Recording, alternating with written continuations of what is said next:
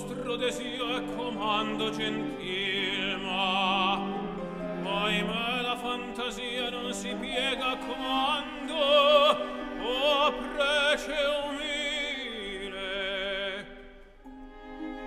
È capricciosa assai la poesia a guisa dell'amor. Perché ridete voi?